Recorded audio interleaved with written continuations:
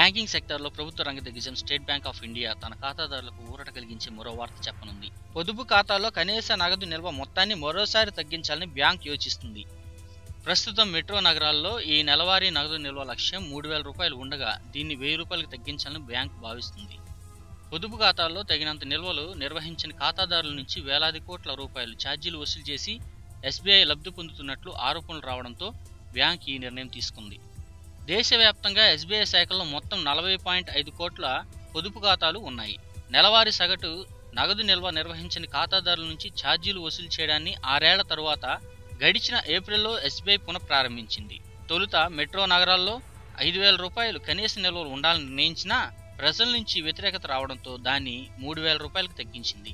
Metro urban నగరాల్లో మూడు వేల రూపాయలు సెమీ అర్బన్ ప్రాంతాల్లో రెండు వేల రూపాయలు గ్రామీణ ప్రాంతాల్లో వెయ్యి రూపాయల చొప్పున నెలవారీ నగదు నిల్వలు ఉండాలని స్పష్టం చేసింది.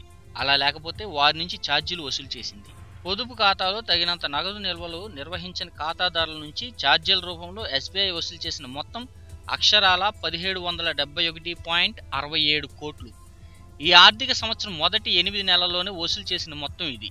ఈ బ్యాంక్ రెండో త్రైమాసిక నికర లాభం పదిహేను వందల ఎనభై ఒకటి పాయింట్ యాభై ఐదు కోట్ల రూపాయల కంటే ఈ మొత్తమే ఎక్కువగా ఉండడం విశేషం.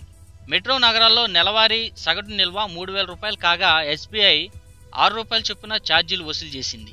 గ్రామీణ ప్రాంతాల్లో నెలవారీ సగటు నిల్వ వెయ్యి రూపాయలు కాగా ఎస్బీఐ రెండు రూపాయల చొప్పున అర్జించింది.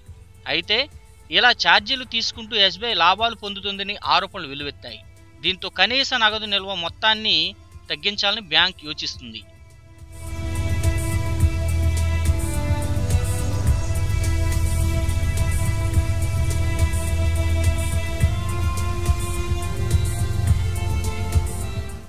Please subscribe New Waves Media.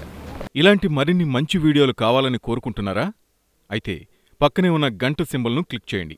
అలాగే సబ్స్క్రైబ్ చేయండి.